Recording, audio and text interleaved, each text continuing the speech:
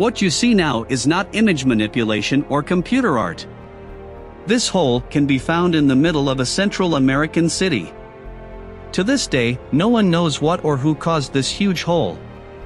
In addition, there are also mysterious deep blue lakes in Asia, an incredible number of sinkholes in Florida, and many other huge pits around the world. They occur unexpectedly and basically destroy entire cities. It is very strange how more and more these phenomena have become increasingly present on the planet. Subscribe to the channel, like and share the video on your social media.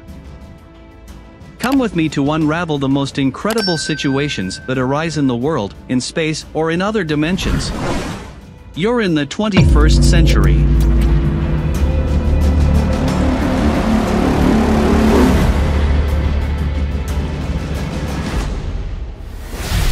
If we don't take action soon, we'll be swallowed up by one hole or another. The chance to save ourselves is to finally discover why these depressions happen and how to stop them. To understand the reasons behind such holes, scientists decided to study similar natural phenomena that formed on Earth long before humans arrived. In the image, these holes are usually deep, have a regular round shape, and look somewhat artificial, as if they were created by aliens, for example, near bottomless blue lakes.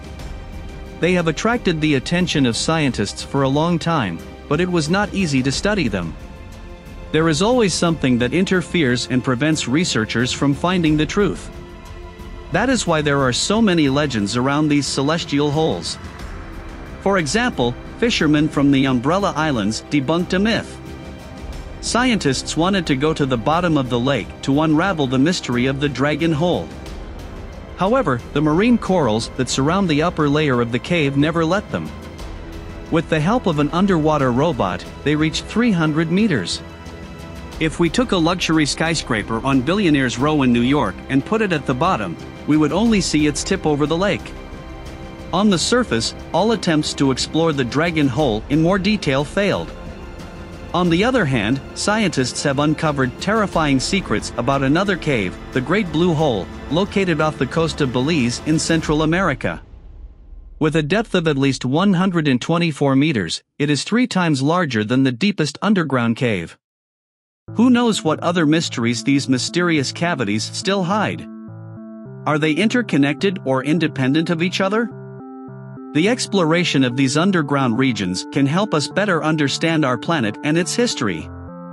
The parking lot in Hangzhou, China seemed to be just another ordinary place until researchers ventured to the bottom of a well and discovered something intriguing. At 90 meters deep, they realized that life in the lake was disappearing due to a thick layer of toxic hydrogen sulfide and a complete absence of oxygen. Shells and hermit crabs suffocated in the hole, and even two divers lost their lives in the mysterious cave. Thor's Well, on the Pacific coast in Oregon, is even more dangerous as no one knows its actual depth, and anyone who approaches it can lose their life. This abyss bubbles like a fountain, and the water fills the cavities in the cliffs before disappearing without a trace. Even holes that form on solid ground are dangerous, like the famous one in the jungle of San Luis Potosi, Mexico. This giant cave is almost the size of the Empire State Building, and entire teams of insects and snakes inhabit it. The walls are covered in mold and fungus, whose vapors are dangerous for humans. Despite the difficulties, scientists have managed to gather some important facts about underwater and underground depressions. They have discovered that all of these formations are actually ancient sinkholes. Scientists continue to study them with caution and determination, but it's best to stay away from the well if they want to return safely. Experts theorize that these cavities originated millions of years ago as a result of intense erosion processes, lava flows, landslides, and even regular rainfall.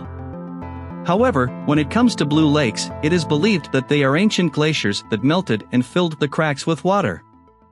We could simply blame nature and move on, but these depressions stopped appearing hundreds of years ago until suddenly, in the late 18th century, the process began again. Around 50 years ago, in the middle of the Karakum Desert in Turkmenistan, a strange sinkhole emerged that could easily swallow five two-story buildings in London at the same time. Its diameter was only two times smaller than the London Eye. But the scariest thing is that, for the past 50 years, this place has been expelling fire as if it were an entrance to the underworld. The locals nicknamed it the Gates of Hell, and it became so dangerous to live nearby that people from the nearest village of Darvaza moved away from that Tartarus. No one knows if the eternal flame of the Devil's Crater will ever go out. This is not the only depression that has unexpectedly appeared without any apparent reason. In 1980, in the state of Louisiana, a gigantic whirlpool appeared in Lake Peigneur. The vortex was so powerful that it swallowed not only everything in the lake itself but also houses on the banks, trucks, barges, and even a small island with a botanical park. All of this was followed by a sudden reflux. The lake deserves to be called the Gates of Hell much more than the crater in Turkmenistan, especially since the water filled the lake. Some really strange things started happening there. Ducks that previously swam in those waters went away, and frogs and salamanders died. Regular freshwater fish were replaced by absolutely different species. Scientists continue to cautiously and determinedly study these formations. Even with all the technology and knowledge we have today, there is still much to learn about these natural wonders and sometimes dangerous occurrences. Will we ever completely unravel these mysteries, or will we always be fascinated and a little scared of the power of nature? But what intrigued locals was the depth of Lake Peigneur, which increased 100 times. The 3-meter deep lake turned into a sinkhole descending 396 meters, which is even higher than the Eiffel Tower. Almost 20 years later, on the west coast of the United States, in San Francisco, an unexpected sinkhole devoured two houses. Three years later, the ground cracked open in the middle of an interstate highway in San Diego County. A colossal hole even swallowed a car. But what could cause these sudden disasters? Mel Waters, from the city of Ellensburg in the state of Washington, was sure he knew the answer.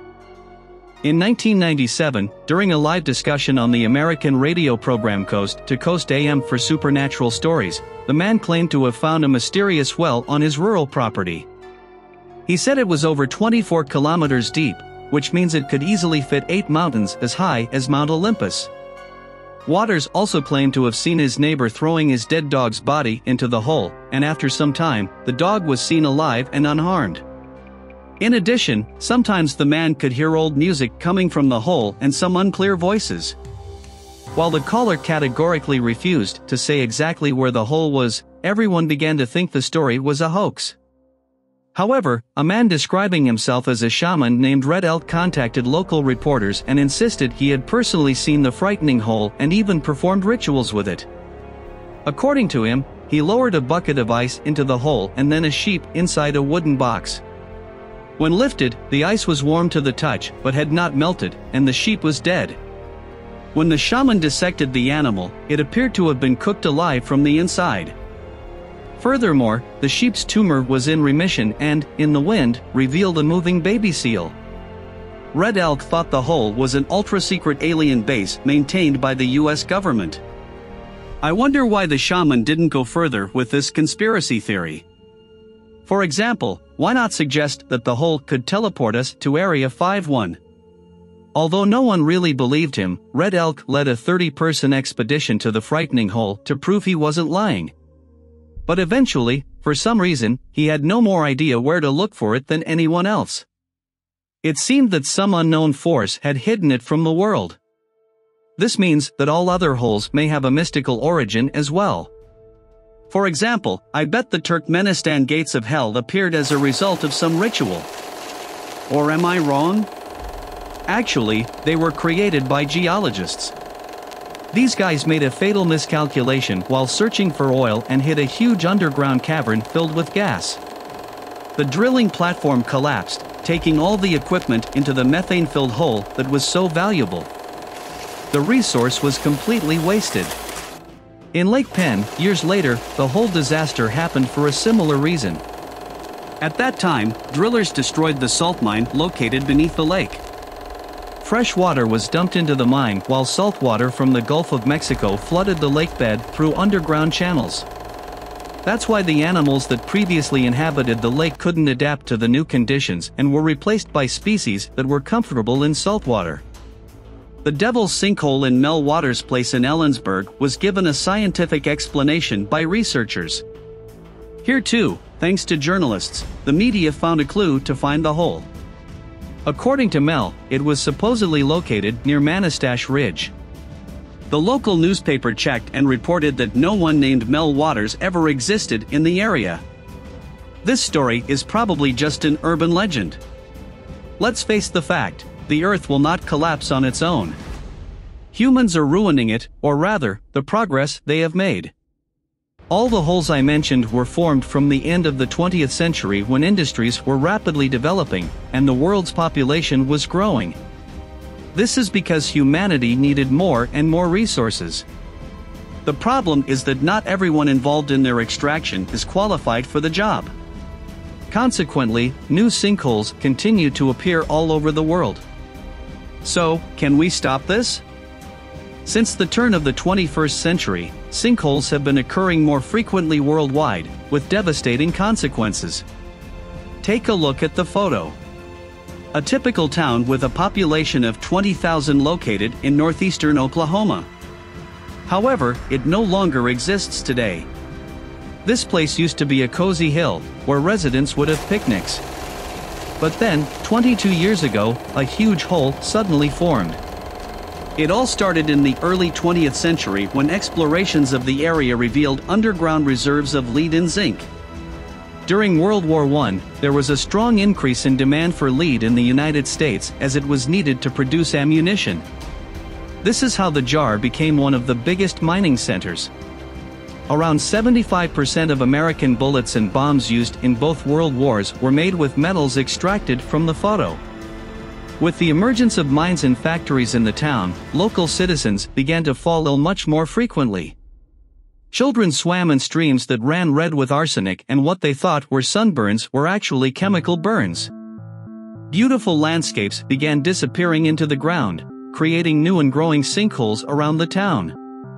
In 2009, the government decided to buy the properties and permanently evacuate the population.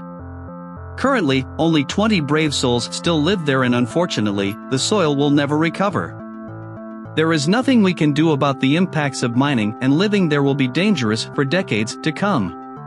Ten years later, an even more devastating tragedy happened in Guatemala.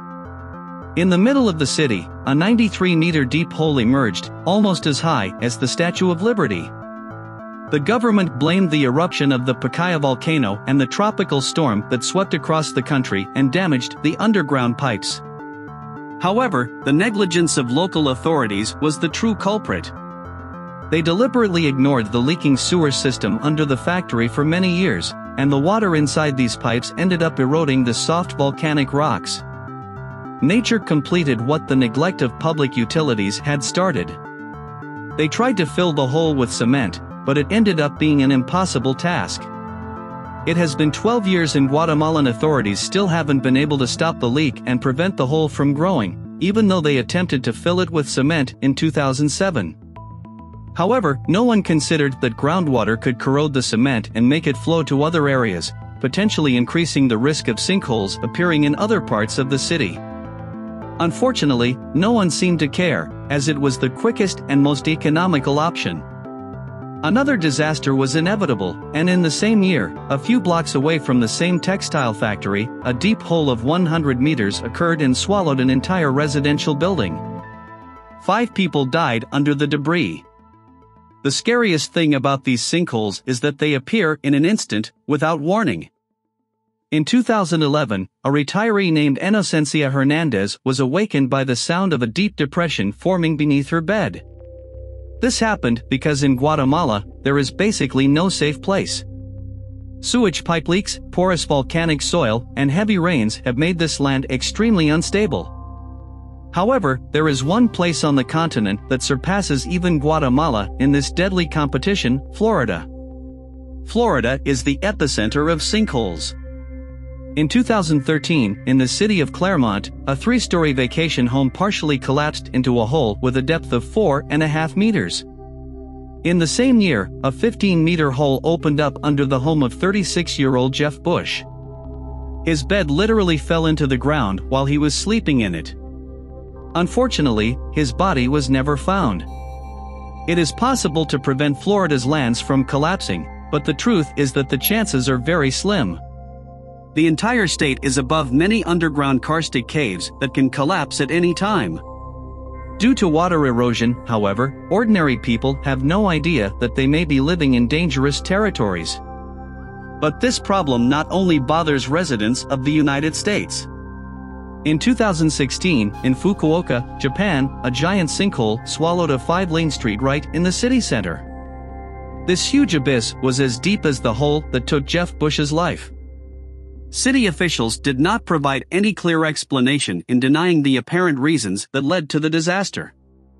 But residents had no doubt that this happened because of the construction of an extension of the subway line. We can simply stop building new subway lines. The next time you need to take several buses to get to a remote location, ask yourself this question Have previous sinkholes appeared in that location? Now, the process is gaining momentum and disaster occurs every three years. It is entirely possible that, in the near future, new sinkholes will open up almost daily. We need to be prepared for this.